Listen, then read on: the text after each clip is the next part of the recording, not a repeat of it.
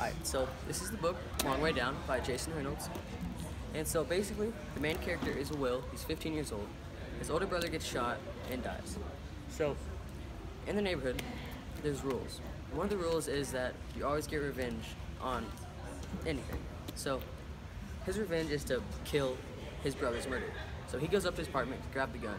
And on his way back down in the elevator, the elevator stops at every floor, and every floor someone walks in from the past that was killed by a gun, and explains to him why it's not a good idea to do what he's doing.